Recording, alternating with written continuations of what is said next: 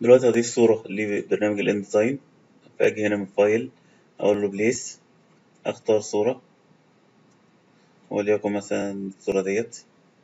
أحطها في أي مكان أنا محتاج أحط صورة فيه. دلوقتي هقول له مثلا أنا عايز أسيب مسافة بين الصورة والكلام فأعلم هنا وأروح لل text wrap. وأقول له مثلا أنا عايز المسافة دي تبقى بالمقدار قد كده. تمام؟ ممكن أقول له أنا عايز أخلي المسافة دي تبقى كلها قد زي بعض. تمام؟ بحيث إن أنت متعدل تعدل فيهم له لأ أخلي مثلا ناحية الشمال أكتر واللي تحت أقللها شوية زي ما أنا عايز.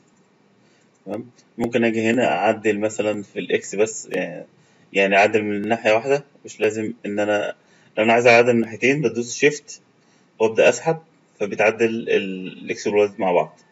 تمام؟ طيب أنا دلوقتي عايز أخلي ال text ده ياخد ال- ال mask الجديد فباجي هنا. بلاقي دول بيتحكموا لي fit content to frame خلي ال content يملى ال frame اللي انت عامله. طب أنا عايزه بالشكل دوت طب أنا عايزها ترجع للاصل. تمام؟ فتقدر تتحكم في الصورة تبقى طالعة عندك إزاي. طب أنا عايز أحط لها زي shadow تمام؟ طب أنا عايز اتحكم في بعض الخصائص غير ال shadow فباجي هنا الاقي ان أنا ممكن اعمل inner glow satin عايز أقدر اعمل basic feather حاجات كتير جدا. شفافية قد إيه مثلا؟ تقدر كل واحد فيهم تدخل فيها تعدل فيها. زي ال Photoshop بالظبط. تبدأ تلاقي اختيارات. مثلا عايز تخلي اللون إيه؟ تمام. عايز ال- ال mode بتاعك إيه؟ اللون هتخليه إيه؟ وهكذا. بتبدأ تشوف الإعدادات اللي أنت عايزها. تمام.